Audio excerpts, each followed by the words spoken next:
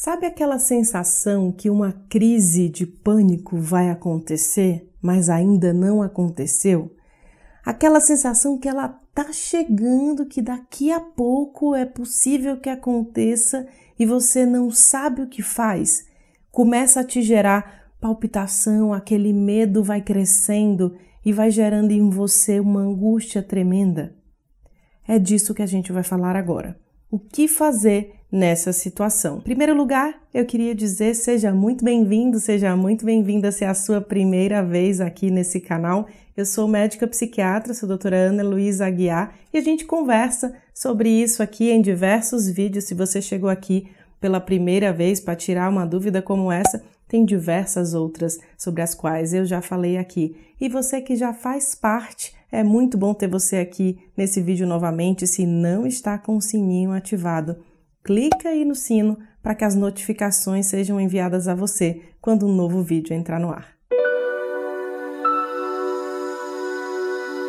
A sensação de que uma crise vai acontecer é muito ruim, né? Muitas vezes você está preocupado com alguma coisa, algo está inquietando você e começa a tomar o pensamento, a invadir com uma série de informações extras que sequer fazem parte daquela preocupação. E aí você vai pensando e aquilo vai crescendo, vai tomando forma, parece que vai ser uma avalanche sobre você até o momento que a crise vai acontecer. Junto com isso, pode acontecer um arrepio, sabe aquele arrepio que vem aqui nas costas? Dá às vezes até uma sensação de frio, de mãos geladas, de coração palpitando, dá uma sensação estranha. Algumas pessoas podem até sentir uma, uma tonturinha. Ela sabe que não é uma crise de pânico ainda, mas ela está ativada, ela está começando e provavelmente ela vai ter, porque na maioria das vezes a pessoa sabe, quem já teve uma crise sabe mas ela estava pensando em algo que começou a fazer isso tudo crescer. Eu não estou dizendo que para uma crise acontecer a pessoa precisa ter um gatilho evidente, como um pensamento, uma preocupação. Ela pode acontecer sem que isso esteja presente, mas muita gente sente isso, de estar tá preocupada com algo e repentinamente aquilo vai tomando você de preocupação. É nesse caso que eu vou falar nesse vídeo, tá? Se você já me viu falando sobre a crise em si, você já deve ter ouvido falar de que a gente não fica resistindo à crise quando ela já está acontecendo. Se você leu o meu livro Ansiedade Controlada, em que eu falo de diversas coisas lá, inclusive alimentação, opções naturais e tudo, tem uma opção lá, uma parte que eu falo sobre o que fazer na hora da crise. E você deve ter visto, se você leu, que eu digo tudo aquilo que a gente resiste, persiste, então a gente deixa a crise acontecer e lida com ela. Mas aqui nessa opção, naquilo que eu estou falando para vocês, a gente vai resistir. Mas a gente vai resistir de uma forma diferente. A ideia é que, quando você começa a ser tomado pelo pensamento que não é uma crise ainda, mas tem uma sensação que ela vai acontecer, a primeira coisa que você vai fazer é lidar com dados da realidade. O que significa lidar com dados da realidade? Significa provar para você que você está certo em cima do seu medo. Você está com medo de algo acontecer ou mesmo de ter crise, ou que aquilo que você está preocupado aconteça, a execução de tal coisa aconteça, que você receba determinado documento, que alguém é, esteja doente ou que alguém tenha se acidentado, que você vai criando essa ideia, em que alguém está contaminado por alguma coisa, são diversos pensamentos catastróficos que em uma situação ansiosa a pessoa constrói. Acredito que você já pode já ter me ouvido falar essa expressão pensamentos catastróficos. Na hora que você vai sendo tomado, o pensamento vai só construindo ideias muito negativas do pior que vai acontecer. Nessa hora, você vai se questionar e você vai dizer, no meu caso, aí eu tô achando que isso vai acontecer, certamente eu vou ser demitida, tenho certeza que isso vai acontecer porque está Ana. Prova para você com algum dado de que isso vai acontecer. Me prova que você está certa.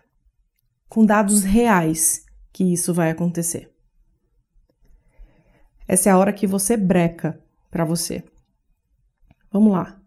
Ai, vai acontecer, com certeza isso vai dar errado, porque aquela coisa que você está construindo, tá ok, vai dar errado, tá, me prova.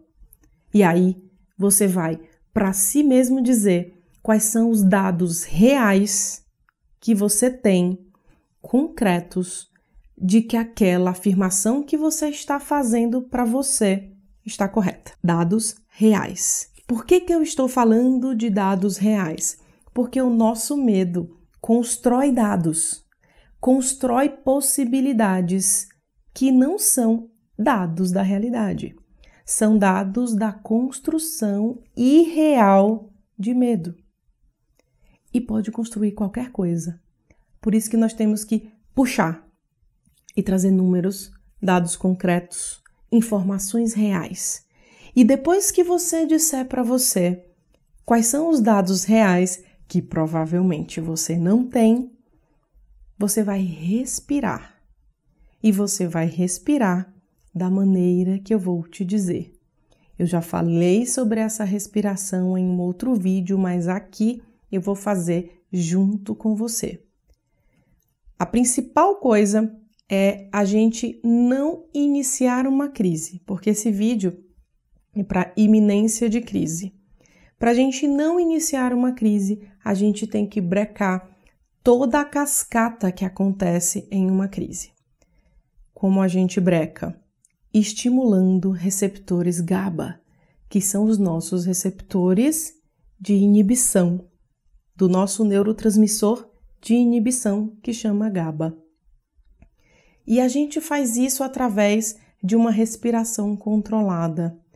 Nós vamos fazer aqui, eu convido você a fazer isso junto comigo, porque eu quero muito que você aprenda para que numa situação dessa você saiba o que fazer e não se sinta desesperado no lugar que você estiver ou mesmo em casa de que não há nenhum artifício ou nenhuma estratégia que você possa adotar, tá?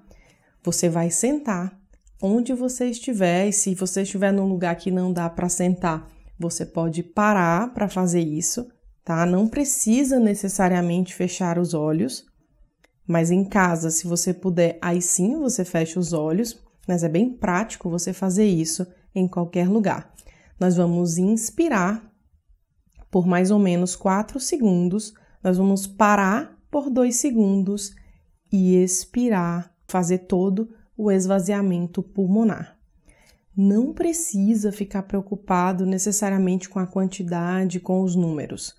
Você vai inspirar conforme eu te oriento, mas aí no dia que você estiver fazendo na sua casa, você atinge toda a capacidade pulmonar, para por dois segundos e expira.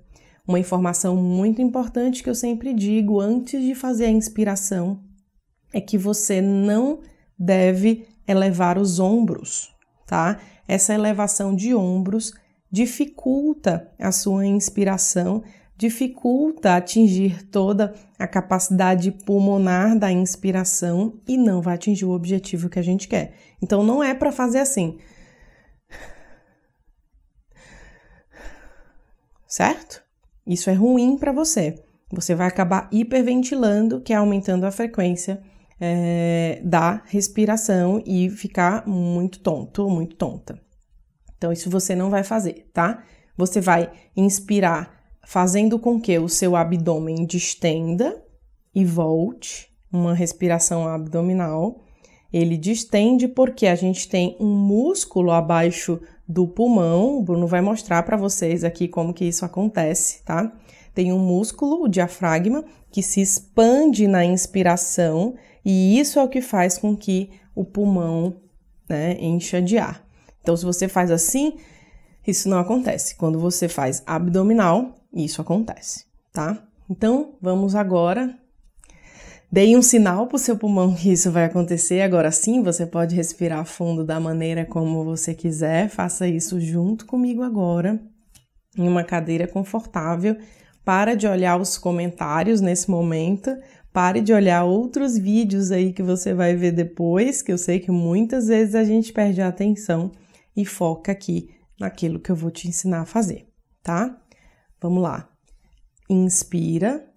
Um, dois, três, quatro. Para. Expira.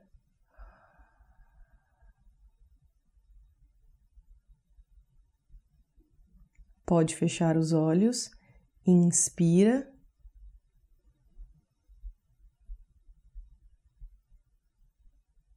Um, dois, parado. Agora expira.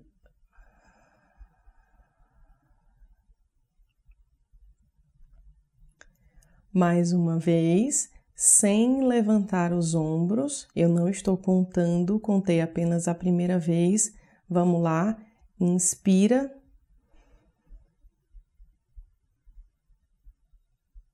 Para por dois segundos e solta.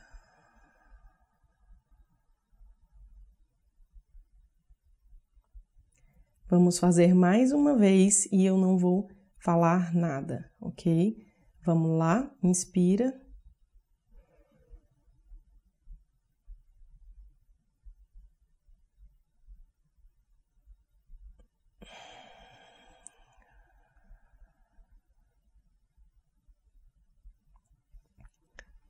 Bom, quando você estiver na iminência de uma crise, quando você está achando que algo vai acontecer, quando os pensamentos catastróficos invadirem você, quando eles tomarem o seu pensamento e você achar que está sufocada e que está começando a ficar inclusive sem ar, você vai dizer: prova para mim que você está certo.